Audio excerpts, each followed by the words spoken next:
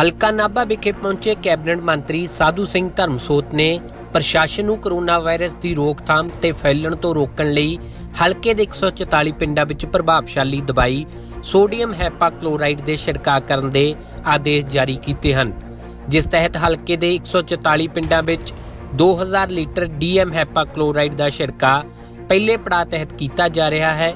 ਇਸ ਮੁਹਿੰਮ ਲਈ ਹਰ ਬਲਾਕ ਸੰਮਤੀ ਮੈਂਬਰ ਨੂੰ ਪੰਜ-ਪੰਜ ਪਿੰਡਾਂ ਦੀ ਜ਼ਿੰਮੇਵਾਰੀ ਦਿੱਤੀ ਗਈ ਹੈ। ਇਸ ਦੌਰਾਨ ਮੰਤਰੀ ਧਰਮਸੋਤ ਨੇ ਪ੍ਰਬੰਧਾਂ ਦਾ ਜਾਇਜ਼ਾ ਲਿਆ। ਕਿੰਨੇ ਪਿੰਡਾਂ ਚ? ਦੇਖੋ ਹਰ ਬੰਦਾ ਅੱਜ ਇਹ ਲੜਾਈ ਬਹੁਤ ਵੱਡੀ ਲੜਾਈ ਹੈ ਜਿਹੜੀ ਕੁਦਰਤੀ ਕਰੋਪੀ ਹੈ।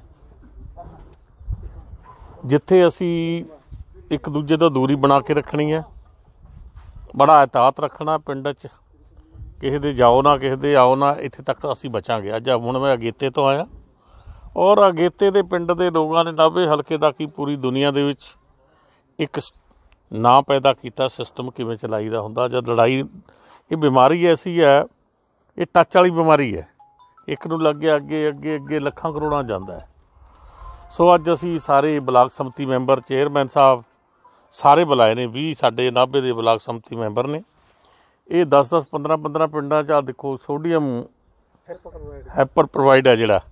ਉਹ ਲਿਜਾ ਕੇ ਪਿੰਡਾਂ ਦੀਆਂ ਗਲੀਆਂ ਛਿੜਕਣਗੇ, ਆਪੋ ਆਪਣੇ, ਉੱਥੇ ਦੇ ਪ੍ਰਬੰਧਕ ਨੂੰ ਦੇਣਗੇ, ਤਾਂ ਕਿ ਜਿਹੜਾ ਸਾਡਾ ਕਿਤੇ ਟੱਚ ਹੁੰਦੀ ਹੈ ਹੋਰ ਆ, ਉੱਥੇ ਦਾ ਅਸਰ ਖਤਮ ਹੋਵੇ, ਗਲੀਆਂ 'ਚ, ਨਾਲੀਆਂ ਤੇ, ਗੇਟਾਂ ਤੇ, ਇਹ ਸਾਰਾ ਸਿਸਟਮ ਹੈ।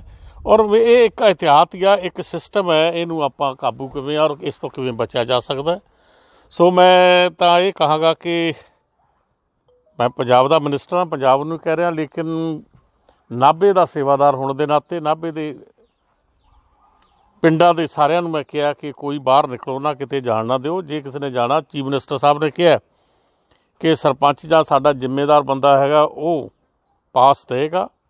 ਕਿਸੇ ਜ਼ਰੂਰੀ ਕੰਮ ਜਾਣਾ, ਦਵਾਈ ਲੈਣ ਜਾਣਾ ਜਾਂ ਨਹੀਂ ਜਾਣਾ, ਤਾਂ ਉਹ ਉਹਦੇ ਮੁਤਾਬਕ ਚੱਲਣਾ ਪਏਗਾ। ਆਪਾਂ ਇhtiyat ਰੱਖੀਏ।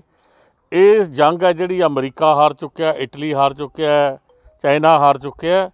ਇਹਨੂੰ ਇੱਕ ਜੋ ਟੋਕੇ ਆਪਾਂ ਇੱਕ ਦੂਜੇ ਦਾ ਕਹਿਣਾ ਮੰਨ ਕੇ ਇਹਨੂੰ ਇੱਕ ਦੂਜੇ ਤੋਂ ਦੂਰ ਰਹਿ ਕੇ ਆਪੋ ਆਪਣੇ ਘਰਾਂ 'ਚ ਰਹਿ ਕੇ ਆਪਣੇ ਬੱਚਿਆਂ ਨੂੰ ਬਚਾਈਏ, ਆਪਣੇ ਪਿੰਡ ਨੂੰ ਬਚਾਈਏ ਔਰ ਦੇਸ਼ ਨੂੰ ਬਚਾਈਏ। ਅੱਜ ਦੇਸ਼ ਦੀ ਜਿਹੜੀ ਲੜਾਈ ਹੈ, ਇਹ ਜਿਹੜੀ ਜਿਸ ਤੋਂ ਬੰਦਾ ਬਚ ਨਹੀਂ ਸਕਦਾ, ਅੱਜ ਇੰਗਲੈਂਡ ਦੇ ਪ੍ਰਾਈਮ ਮਿਨਿਸਟਰ ਵੀ ਘੇਰੇ 'ਚ ਆਇਆ, ਉਹਨਾਂ ਦਾ ਵਜ਼ੀਰ ਵੀ ਘੇਰੇ 'ਚ ਆਇਆ।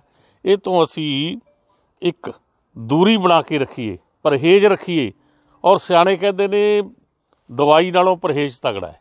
ਜੇ ਅਸੀਂ ਪਰਹੇਜ਼ ਨਹੀਂ ਕਰਾਂਗੇ ਇੱਕ ਦੂਜੇ ਨਾਲ ਰੋਜ਼ ਹੀ ਹੱਥ ਮਿਲਾਉਂਦੇ ਸੀ, ਕੀ ਹੋ ਗਿਆ ਠਹਿਰ ਕੇ ਮਿਲਾ ਲਾਂਗੇ, ਸੁਖ ਸ਼ਾਂਤੀ ਹੋ ਜੇ। ਦੂਰੋਂ ਫਤਿਹ ਬੁਲਾਓ ਔਰ ਦੂਜੇ ਦੇ ਪਿੰਡ 'ਚ ਨਾ ਜਾਓ, ਬਿਨਾਂ ਪੁੱਛੇ ਨਾਭਾ ਤੋਂ ਹਰਮੀਤ ਮਾਨ ਦੀ ਰਿਪੋਰਟ, ਪੰਜ ਆਪ ਟੁਡੇ।